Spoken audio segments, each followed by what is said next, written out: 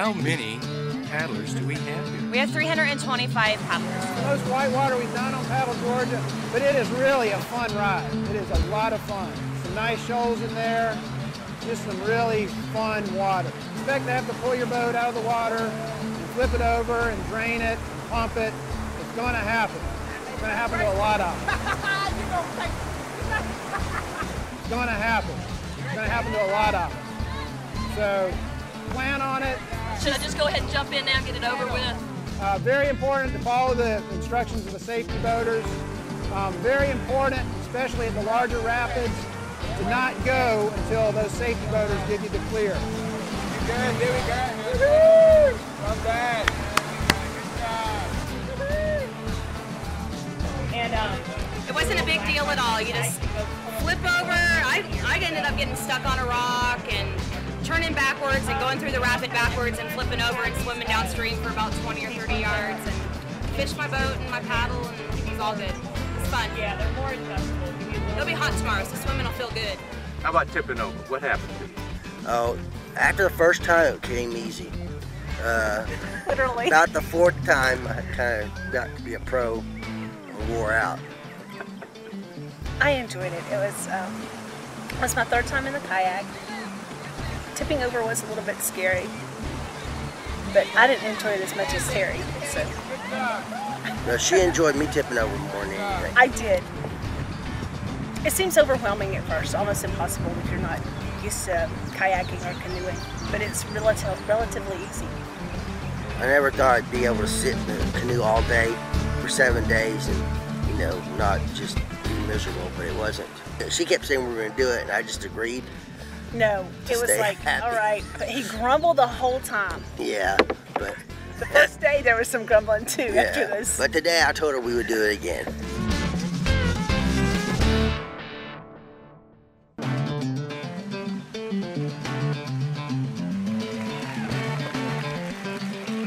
I had to pull him out of retirement, so he's a little hard of hearing here. Uh, is there a black bear? I would probably guess you guys have good odds of probably seeing a black bear as you're paddling um, on this this week. It is a king snake. It is an eastern king snake.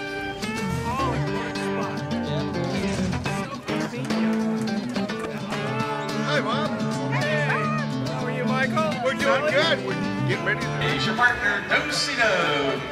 Swing your corner and say, hi, you're my new partner. In a ring, you. Say goodbye, take your new partner. Thank you all for having the courage to get out here and dance. Paddle, Georgia, that's the life for me. When I'm out here on the river, I'm as happy as can be. This year's the Coosawattee, Ellijay to Carter's Lake. These species are fish, crayfish, mussels, and snails. Sediment and runoff from construction sites uh, is a big issue. You know, we're the most biologically diverse river basin in North America. 30 endemic aquatic species. Those are critters that aren't found anywhere else in the world. And so we live in a really special place, so we have a lot at stake up here. If we don't take care of these rivers and streams, we're going to lose a lot of these critters. And we got a drinking water source for about 900,000 people uh, in these rivers. So there's a lot at stake. Can you explain to me very briefly what it is you're doing? Yes.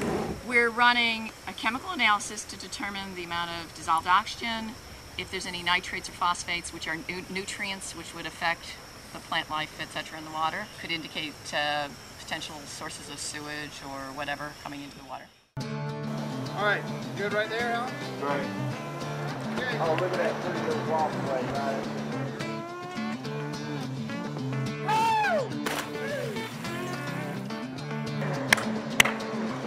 Going down through here it makes you wonder how the Indians lived down through here and where they were and who was on the same spot that, that you're on as you're floating.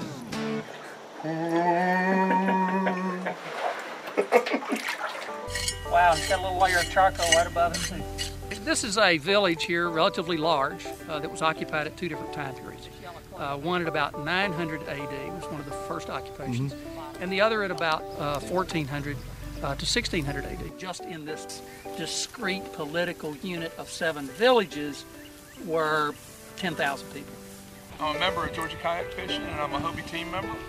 And uh, so I wanted to introduce and take some people kayak fishing because it's a great way to enjoy fishing and enjoy the wildlife and, and get out there without noisy motors. And it's just really nice. thereabouts out from the from the top of this dam, and it's over 450 feet deep out through there. You, you guys paddled through some of the deepest water in Georgia at, at over 450 feet, and the average depth of the lake is, according to an article by Georgia Outdoor News, was over 100 feet deep. Yeah. And how many gallons do you estimate?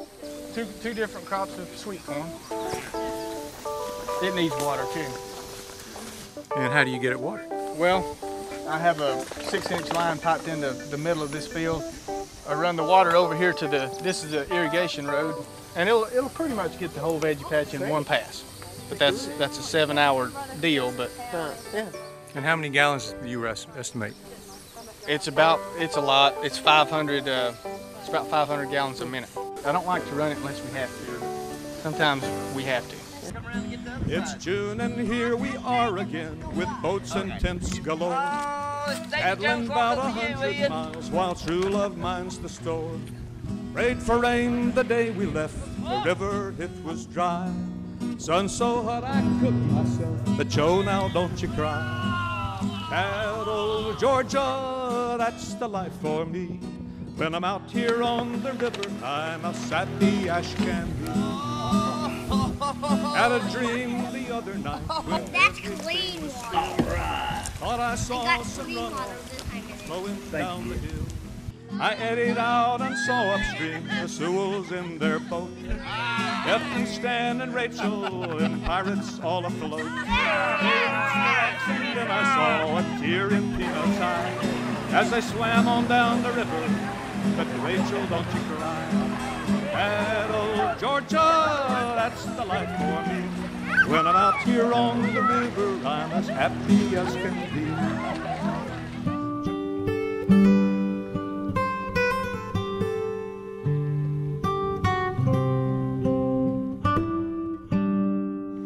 Gosh, that's that's what I was so impressed with the the camaraderie of, of everybody works together. They might pass, you know, pass by you. How you doing? Are you okay? You know, do you need anything? Do you have plenty of water? You know, your sunscreen. Do you have plenty of sunscreen? You know, do you need some? Yeah. And then it's just um, you get that from everyone, not just you know one or two people. It's, it's like a big family taking care of each other. There is one other person that I wanted to recognize, but I think he's already left, and that's uh, Alan Crawford. I wish he was here because uh, he deserves a round of applause. Um, he is the first person to ever paddle all seven days as a paraplegic. When Alan said he wanted to do this, I thought, well, you know, you could probably do the last six days. I think that would be safe for you to do. He's like, well, you know, I, I think I could do the first day. And I think he was an inspiration to all of us, uh, just to show you that uh, if you set your mind to something, anything is possible. And uh, I'm so glad that he came on this trip and and uh, could uh, be that inspiration for all of us. I can do this. And so, to, to those that are out there that um, that say they can't, um, I, I hope they at least give it a try because that's what I did. At one point, I'm sitting at home. What am I going to do with the rest of my life? Woe is me. And next thing you know, I'm back on the water and I've made 300 friends. I mean, it's just incredible.